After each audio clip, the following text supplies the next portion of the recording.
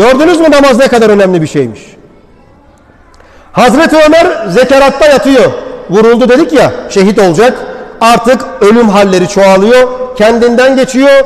Arkadaşları da diyor ki ya kendine gelsin de kelime-i şehadet getirtelim. Dilinle de duyalım. Ama yok kendine gelmiyor. Koma dedikleri halden çıkmıyor bir türlü. Tam kim olduğunu hatırlamıyorum. Çekilin diyor ben hallederim o işi. Yanına yanaşıyor diyor ki kulağına eğiliyor Hazreti Ömer'in. Ya Ömer diyor namaz vakti çıkıyor. Ömer o koma halinden namaz diye kalkıyor ayağa böyle. Ya, biz biraz grip olduk mu? Biraz üşüttük mü? Biraz midemiz ağrıdı mı? Dişimiz ağrıdı mı? Ama şimdi sonra kaza edersin. Değil mi? Bizim yolundan gittiğimizi iddia ettiğimiz kimseler yolundan gittiğini gittiğimizi iddia ettiğimiz kimselerin namazına bakın. Bir de bizim namazlarımıza bakın. Ve ne kadar garip ki hepimiz aynı cennete talibiz.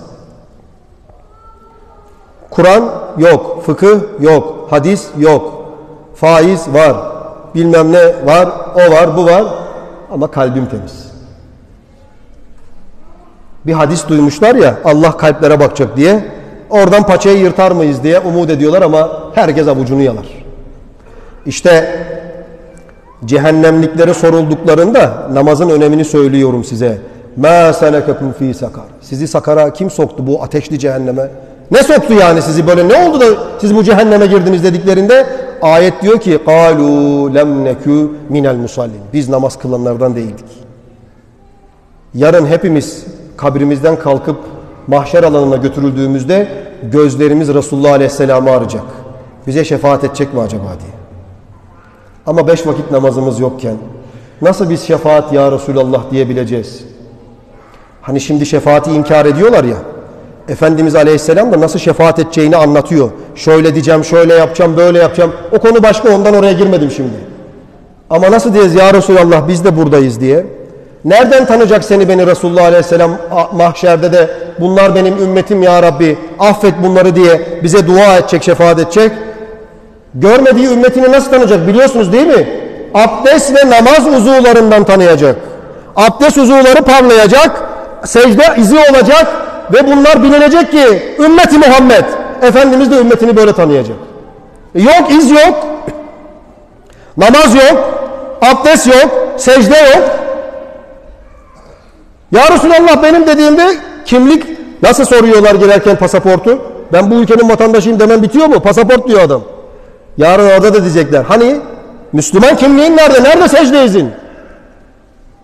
İşte o yüzden Allah aşkına namazınızı bırakmayın. Her şeyinizi kaybedin. Gerekirse o gün yemeğinizden vazgeçin.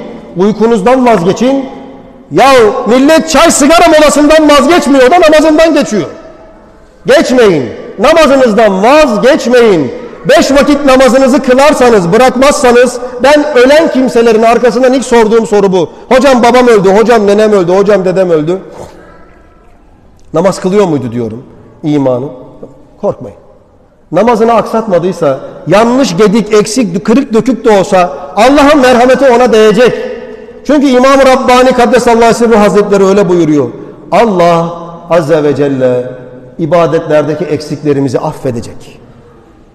Kılmadıklarınızı değil ha. Yani yamuk yumuk eksik kılıyoruz ya. Sen sanıyor musun? Ben tam tamam büsbütün 10 numara 5 yıldız kılıyorum. Bir tekbir alıyoruz.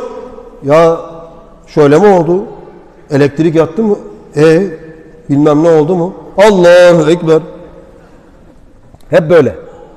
Benim böyle sizin değildir de benim böyle gidiyor yani. Bunları affedecek Allah. Çünkü biz zor bir dönemde yaşıyoruz. Ahir zamanın göbeğindeyiz. Ama imani ve itikadi eksikleri affetmeyecek. Size düşen sizin vazifeniz Allah'ın katında imani esasları sizi cehennemden kurtaracak, küfürden koruyacak kadar sağlam bir şekilde öğrenmeniz ve ibadetlerinizi asla kaytarmamanız.